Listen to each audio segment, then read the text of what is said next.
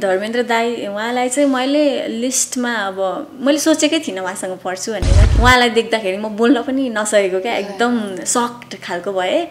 Unfair चाहिँ मलाई त्यस्तो त भएको थिएन तर अब दुईजनामा एकजना आउट हुने नै हो। त्यही कुराले म एकदम इमोसनल भएँ। मैले सोचेको थिइनँ कि हाम्रो प्रमोद सरले मलाई त्यस्तो सोच्नुहुन्छ होला भनेर। कतिजनाले त अनफेयर भयो भने पनि भन्नुभयो होला नि। कतिजनाले भन्नुभएको थियो तर अब त्यस्तो भन्न मिल्दैन नि त। म चाहिँ होइन थ्याङ्क यू भन्छु। म केही हुँदिनँ म रुदिनँ होला आज भन्ने सोचिरहेको मनमा चाहिँ त्यो भइरहेको थियो म रुदिनँ। मलाई माया गर्ने तिमी नै हौ तिमी नै हौ तिमी नै हौ तिमी नै हौ।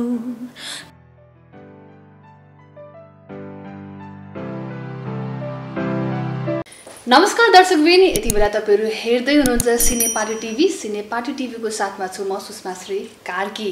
The voice of Nepal season three यतिखेर एकदमै धुमधाम तरिकाले चलिरहेको छ र यो सोलाई सिजन वानदेखि दर्शक दर्शकहरूले एकदमै माया गर्दै आइराख्नु भएको छ र अहिले चाहिँ the voice of Nepal season थ्रीको चाहिँ ब्याटल राउन्ड चलिरहेको छ र ब्याटल राउन्ड पनि सबैभन्दा छ नि मैले जहाँसम्म सुनेको अडियन्सलाई चाहिँ हेर्नलाई चाहिँ ब्याटल राउन्ड चाहिँ एकदमै रमाइलो लाग्छ भन्नु भन्नुहुन्छ र स्पेसली मलाई पनि लाग्छ।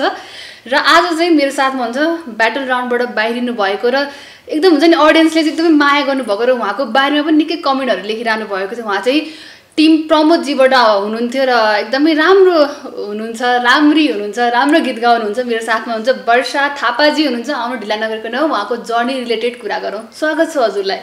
थ्याङ्क यू सन्चै हुनुहुन्छ? ठिक छ। केही उ त भएको छैन लाइक स्माइल देखिरहेको छु फेसमा। स्याडनेस छ कि छैन भित्र? स्याडनेस छैन एकदम फ्रेस छु।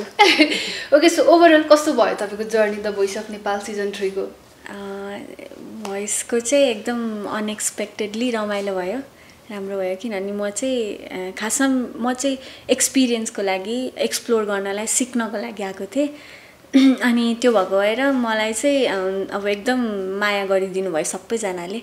अनि त्यो भएर चाहिँ एकदम खुसी लाग्छ। राम्रो भयो एकदम। जे भयो पनि हाँसिरहने तपाईँ। तर हुन्छ नि ब्याटल राउन्डको बेला पनि हाँसेरै हुन्छ नि एकदम कन्फिडेन्ट देखिरहेको थियो तपाईँमा र जब अब चुज गर्ने टाइममा चाहिँ चुज हुनुभयो होइन त्यो टाइममा पनि तर हुन्छ नि मन रोए पनि हल्का स्याड देखे पनि तर हुन्छ नि स्माइलै थियो कि हजुरको फेसमा चाहिँ। हजुर मलाई चाहिँ त्यस्तै अब हाँसिराख्नु मनपर्छ। अब जस्तै भए पनि सिजन थ्रीमा जाने यो सोच चाहिँ कहाँबाट आयो हजुरको। वान टू फलो कति गर्नुहुन्थ्यो? द भोइस अफ नेपाल भोइसलाई चाहिँ मैले म चाहिँ इन्टरनेसनल ग्लोबल भोइसहरू एकदम फलो गर्ने ए। अनि तर मैले सोचेको चाहिँ थिइनँ म जान्छु भनेर। किनभने अब मैले धेरै सिक्न बाँकी छ म्युजिकमा पनि किनभने त्यस्तो ठुलो प्लेटफर्ममा गएपछि त अब आफू एउटा म सक्छु भनेरै जानेहरू हुन्छ नि त। अनि मैले सोचेको चाहिँ थिइनँ म जान्छु भनेर। तर म्युजिक चाहिँ मेरो अब कस्तो भयो भने मेरो हबीबाट चाहिँ प्यासन कुन बेला भयो मैले चाल पाइनँ होइन। त्यसले गर्दाखेरि चाहिँ म अब एकदम प्यासनेट बर्निङ प्यासन हुन थाल्यो म्युजिकमा अनि सबैले अ, जुन इन्भाइरोमेन्ट अब फ्रेन्ड्स फ्यामिली सबैजनाले चाहिँ अलि ट्राई गर्नुपर्छ यो भनेको प्लेटफर्म हो अपर्च्युनिटी हो अनि गर्नुपर्छ भनेर भन्नुहुन्थ्यो। अनि त्यो भएको भएर चाहिँ सिजन थ्री चाहिँ अब आयो सिजन थ्री सिजन टू आउने बेला म कलेजमा थिएँ क्यारे। त्यो बेला पनि मलाई भन्नुभएको थियो अप्लाई ट्राई गर्नु भनेर अनि यत्तिकै भयो मेरो बोर्ड इक्जाम थियो अनि त्यो भएर मैले उ गरिनँ। अनि सिजन थ्री आउँदा चाहिँ अब सबैले गर्नु राम्रो हुन्छ। डिजिटल अडिसन दिनु ट्राई गर्दा के हुन्छ भन्ने उ भयो अनि हुन्छ नि त ट्राई गर्छु। अब लकलाई पनि टेस्ट गर्छु भनेर ट्राई गरेँ। त्यही हो। ब्लाइन्ड अडिसन कस्तो रह्यो? ब्लाइन्ड चाहिँ मेरो एकदम राम्रो भएको थिएन नि। ब्लाइन्ड हुन्छ नि। अब अहिले ब्याटल पनि ब्लाइन्डमा अब मैले सम हाउ मेरो जनरको गीत थियो होइन? राम्रो गीत परेको थियो मलाई। तर मैले अब त्यो गाउने स्टाइल मैले चाहिँ त्यसमा पनि एक्सपेरिमेन्ट गर्ने हुँदाखेरि मेरो ब्लाइन्ड चाहिँ अलि राम्रो भएन। जति सोचेको जे थिएँ। त्यो अलिक भएन। अब ब्लाइन्डमा मेरो गीत त्यो डुब्न दियो हाम्रो अनिल सिंहज्यूको. अनिल सिंह सरको छ त्यो गीत थियो अब त्यो पुरा एकदम पावर चाहिने वाला छ होइन? मैले सुरुमा चाहिँ त्यसरी नै गाउँछु सोचेको थिएँ। अनि पछि फेरि यसो सोचेँ अब कस्तो गीत सेम टु सेम किन गाउनु? अब सिङ्गर भएपछि एउटा इम्प्रोभाइज गरेर होइन अलि राम्रोसँग गाऊँ भनेर। अनि आफ्नो तरिकाले गाउँछु भने हुनु त इम्प्रोभाइजहरू प्रमोद सरले राम्रो भन्नुभयो। प्रमोद सर घुम्नु भएको थियो उहाँले राम्रो भन्नुभयो तर अझ जति सोचेको थिएँ त्यो चाहिँ भएन। म एकदमै नर्भस भएको तर हाम्रो प्रमोद सरको टिममा जानुभयो उहाँले नै होइन आई वान्ट यु गर्नुभयो होइन। सो यो गीत अहिले सुन्न सक्छौँ? यो ब्ल्यान्डमा गाउनुभयो हुन्छ। हुन्छ म थोरै गाइदिन्छु.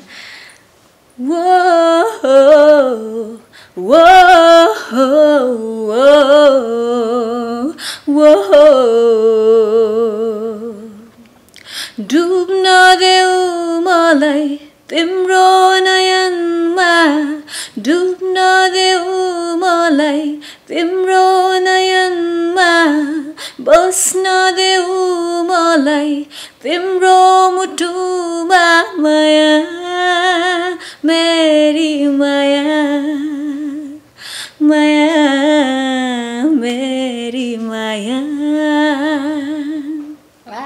सो यो टाइममा चाहिँ ब्ल्यान्डको बेला चाहिँ हाम्रो प्रमोदजी मात्र होइन। हजुर हजुर। ट्रन हुनुभएको थियो।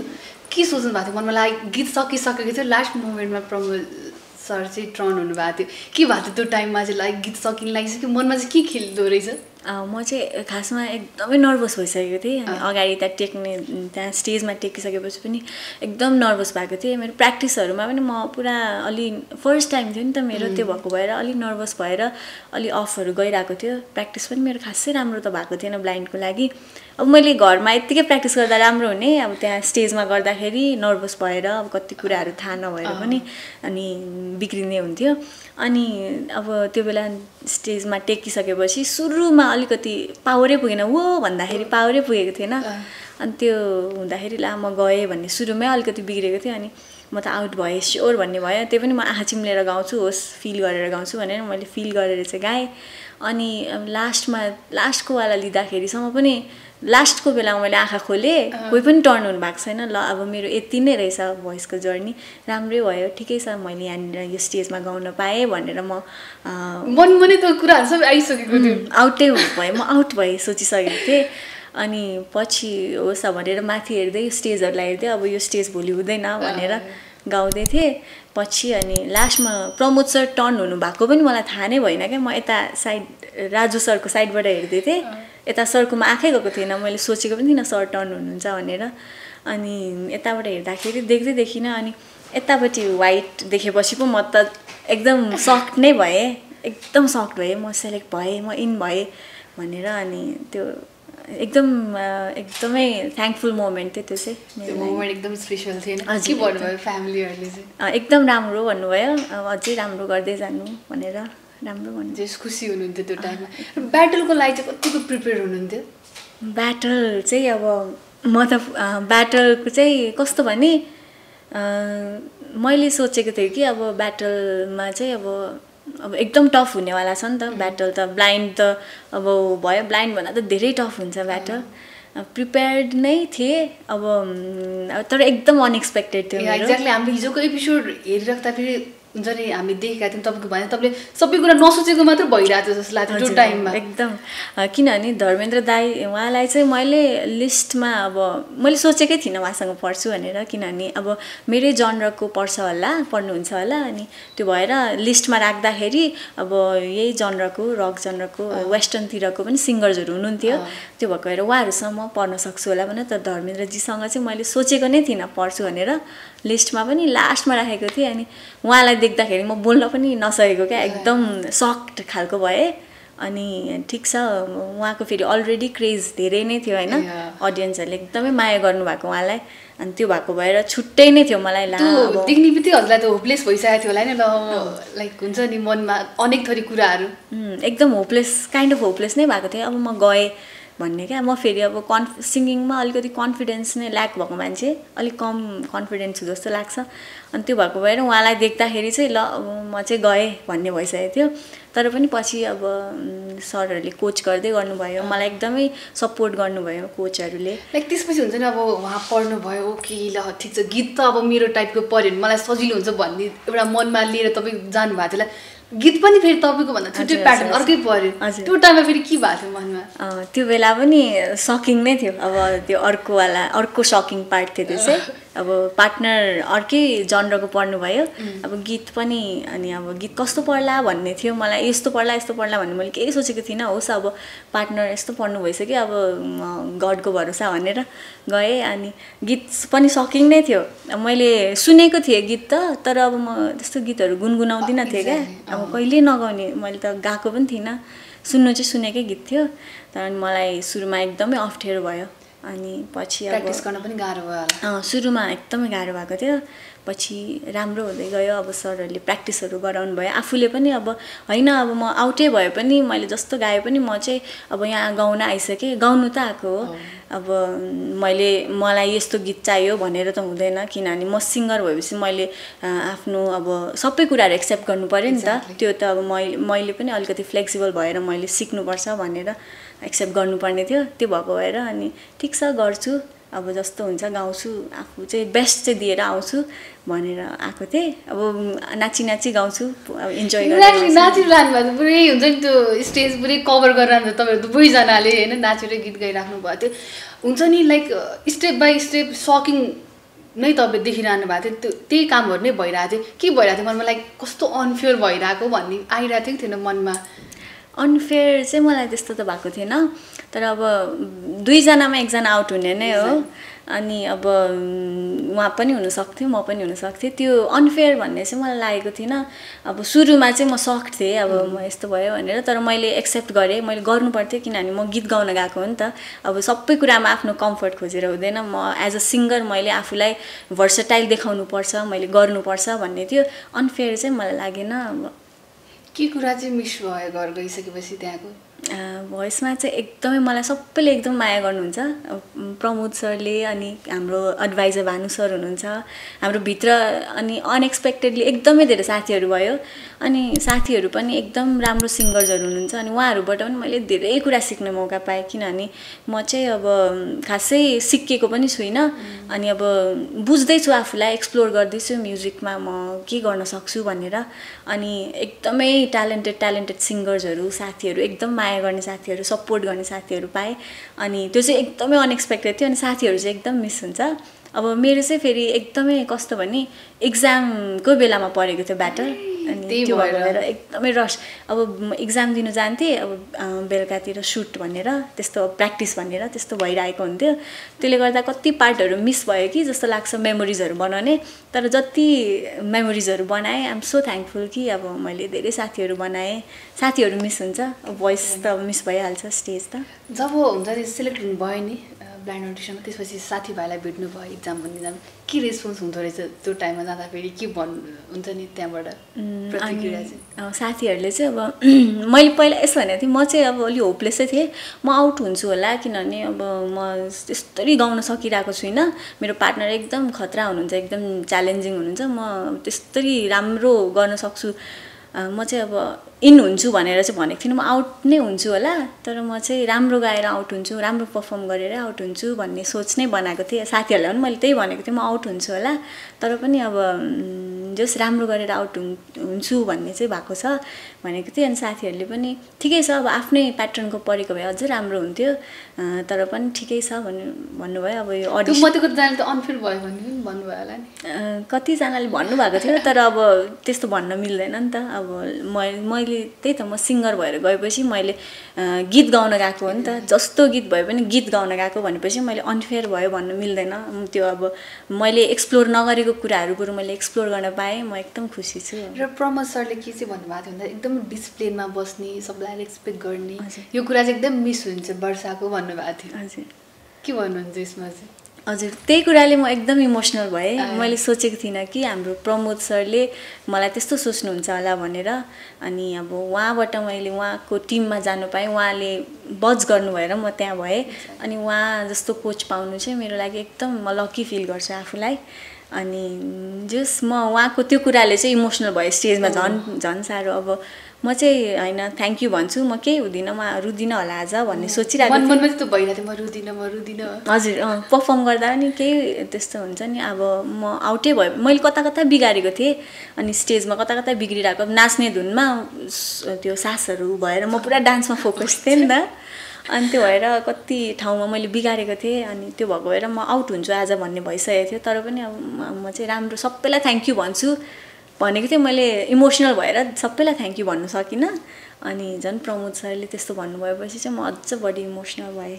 तर मनमा ती कुराहरू आए पनि तर तपाईँले हुन्छ नि बाहिर एकदम कन्फिडेन्ट देखाउनु भएको थियो। जुन कुरा चाहिँ एकदम राम्रो र भोइसमा गएपछि त्यो कन्फिडेन्ट लेभल बढा बढेको पनि होला होइन जुन तपाईँले भन्नु पनि कन्फिडेन्ट थिइनँ म भनेर। हजुर, हजुर। र वर्षाजी हुनुहुन्छ अब जब भोइसमा हामीले उहाँको हुन्छ नि भोइस सुन्न पाउँदैन। सो आज नै पुरै हुन्छ नि सबै मन लागेको कुरा सोध्ने पनि छौँ र एकदम मजाले गीत पनि सुन्ने छौँ। सो अर्को पनि सुन्नु न है वर्षाजी। अर्को गीत हुन्छ म चाहिँ यो मेरै जनरबाट गाउँछु मलाई दिइसकेको दिल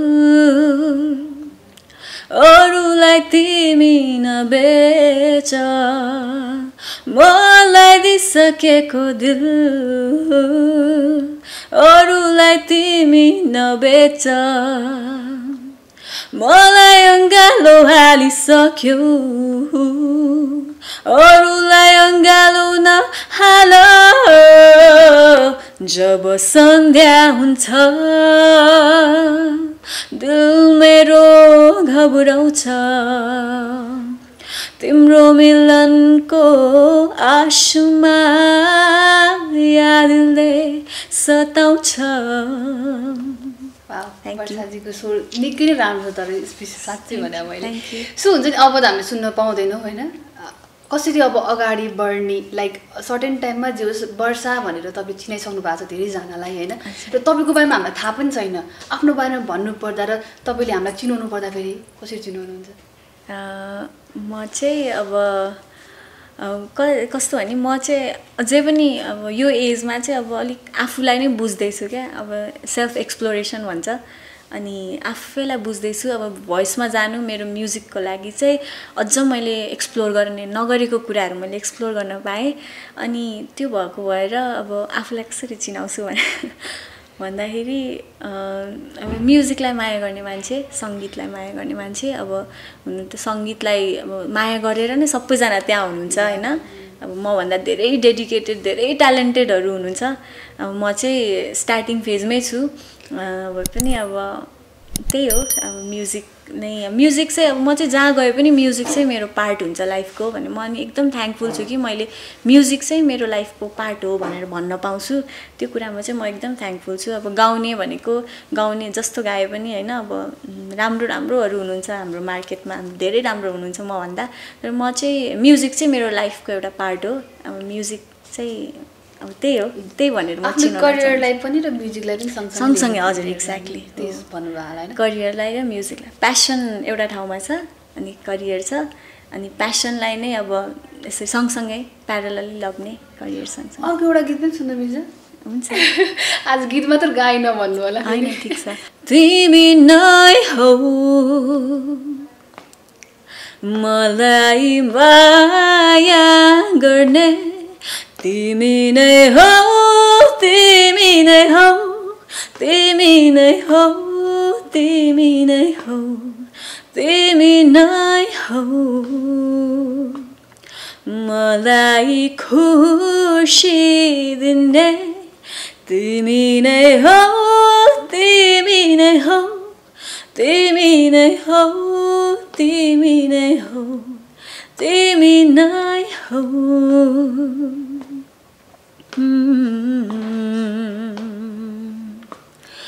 हेर मलाई समायो हात नछुटोस् हाम्रो दरिलो साथ देख्नेले देखोस् सुनोस् हाम्रो यो सम्बन्ध पश्चाताप छैन कुनै यहाँ खुसी छौँ हामी छौ जहाँ भन्नेले भनोस् गरोस् हाम्रो बारे कुरा जति जे छ मेरो तिमी हो।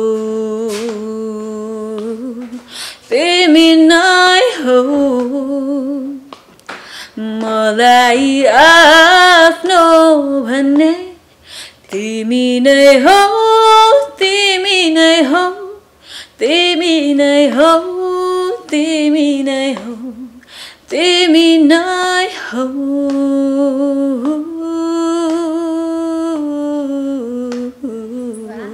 थ्याङ्क यू सो वर्षाजी तपाईँलाई चाहिँ कहिलेदेखि थाहा भयो कि मैले पनि एकदमै राम्रो गीत गाउने रहेछु मैले पनि गीत गाउन सक्ने रहेछु भनेर चाहिँ कहिलेदेखि चाहिँ महसुस भयो? मेरो चाहिँ खासमा मलाई गीत गाउन मन लाग्ने तर म स्कुलहरू हुँदाखेरि चाहिँ मलाई गीत गाउने भन्दा पनि डान्सतिर चाहिँ म इन्क्लाइन थिएँ होइन? डान्स कम्पिटिसन्सहरूमा एकदम भाग लिने खालको मलाई गीत गाउन मन लाग्थ्यो तर मेरो एउटा अब यस्तो इन्सिडेन्ट भएको थियो कि स्कुलमा हुँदाखेरि गीत गाउने भनेर अगाडि गएको। स्टेजमा गाउँदाखेरि त्यो हाई नोट हिट गर्न नसकेर भोइस नै क्र्याक भएको खालको। अनि त्यो स्टेजमा अब सबैजना हाँसेको अब सबैजना मतलब हाँस्नेहरू अब त्यो अब नेगेटिभ कुरा नै याद हुन्छ नि हाम्रो दिमागमा।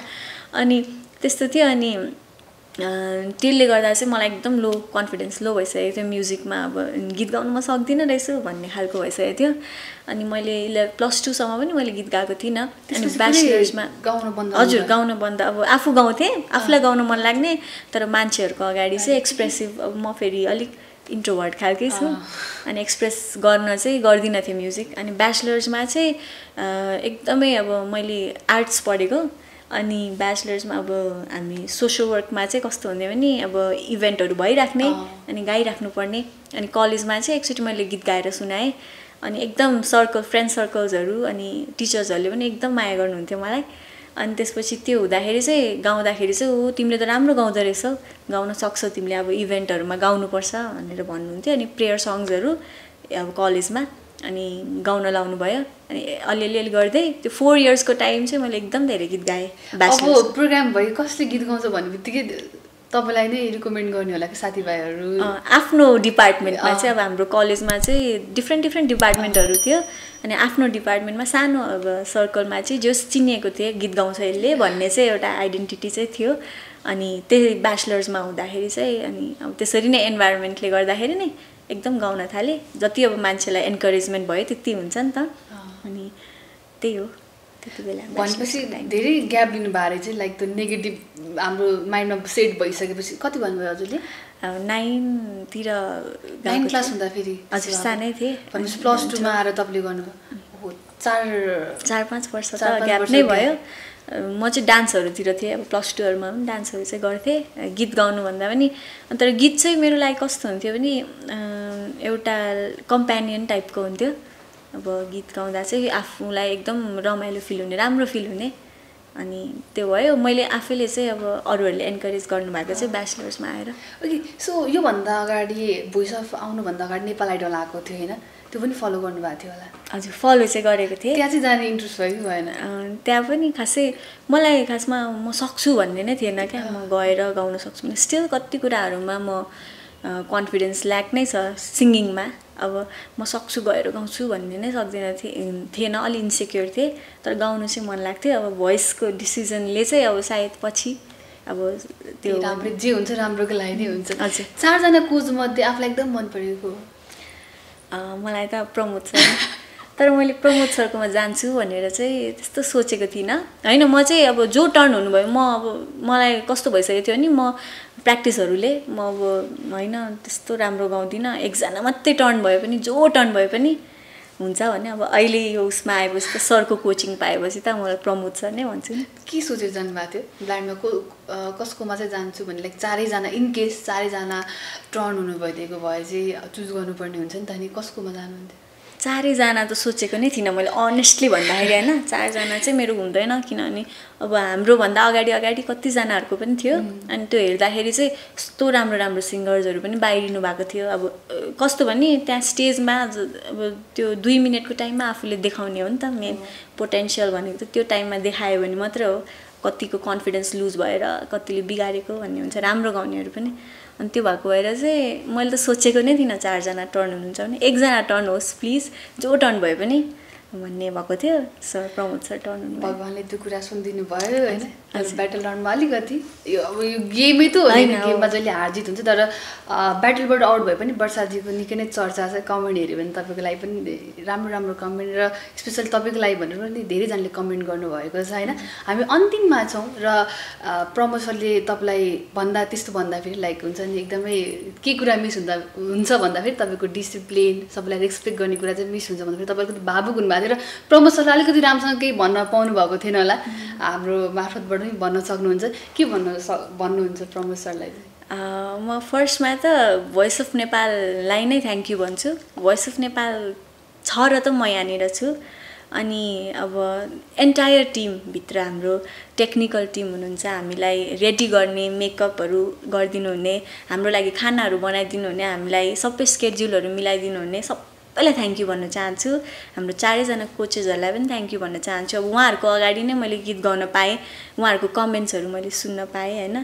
त्यो म थ्याङ्क यू भन्छु। हाम्रो music director sir Karan Raj Karki सरलाई पनि थ्याङ्क यू अनि भन्छु अनि स्पेसली प्रमोद सरलाई चाहिँ धेरै थ्याङ्क यू भन्छु। सरले चाहिँ मलाई त्यस्तो सोच्नुहुन्छ भनेर मलाई थाहा थिएन। अनि सरको कोचिङ पाउनु हाम्रो एडभाइजर भानु सर हाम्रो प्रमोद सर उहाँहरूको कोचिङ पाउनु चाहिँ म एकदमै लकी फि ठान्छु आफूलाई। अनि सरलाई एकदम थ्याङ्क यू भन्न चाहन्छु। उहाँले बज गर्नुभएको लागि अब मलाई इन गर्नुभयो त्यो ठाउँमा अनि मैले आफ्नो ट्यालेन्ट देखाउन पाएँ। So I'm very thankful thank you भन्न चाहन्छु। सरलाई चाहिँ मिस गर्छु हाम्रो प्रमोद सरलाई भानु सरलाई सबैलाई मिस गर्छु। अनि थ्याङ्क यू भन्न चाहन्छु यो अपर्च्युनिटीको लागि। सिजन फोरमा जाने अब? त्यो त सोचेको छुइनँ अब सिजन फोरमा झन् दमदारहरू आउनुहुन्छ होइन अब हामीले त एकचोटि प्लेटफर्म पाइसक्यो नि त अब अझ प्लेटफर्म अझै अब अरूहरूले अझ पाउनुपर्छ भन्ने लाग्छ। र प्रमोद सरले भन्नुभएको छ ठ्याक्कै हुन्छ नि एकदम रेस्पेक्ट गर्ने एकदम पोलाइटली बोल्ने डिसिप्लिनमा बस्ने भनेर उहाँले भन्नुभएको थियो। हामीले त लाइभ देखेका थिएनौँ नि त। आज देख्दा फेरि हेर्दा फेरि जे भन्नुभएको थियो एकदम सही भन्नुभएको रहेछ सरले। त्यस्तै हुनुहुन्छ एकदमै हाँसिरहने हुन्छ नि। बोल बोल्नको लागि चाहिँ एकदमै कन्फिडेन्ट रहेछ भन्ने कुरा चाहिँ थाहा भइसकेको छ। र भन्नुभयो नि गीत गाउनको लागि चाहिँ अहिले छैन भन्नुभयो तर यसरी नै बढ्दै जस्तो जस्तो भोइस अफ नेपालमा आएर अहिले बढेको छ। हो, त्यसरी नै. आओस् र तपाईँको पनि हामीले गीत सुन्न पाऊँ. गीत निकाल्नु होला होइन? राम्रो छ voice. Thank you so much आइदिनु भयो लाइक कुरा गरिदिनु भयो फर्स्ट इन्टरभ्यू नै थियो होला है हजुर फर्स्ट इन्टरभ्यू थियो. अब म के बोल्ने होला भन्दै सोच्दै आइरहेको थिएँ बाटोमा। अनि फर्स्ट नै थियो। हजुरलाई पनि थ्याङ्क यू हाम्रो सिनेपाटी टिभीलाई पनि थ्याङ्क यू मलाई यो अपर्च्युनिटीको लागि। अनि एन्टायर टिमलाई thank you thank you so much र बेस्ट विसेस आगामी दिनको लागि। Thank you thank you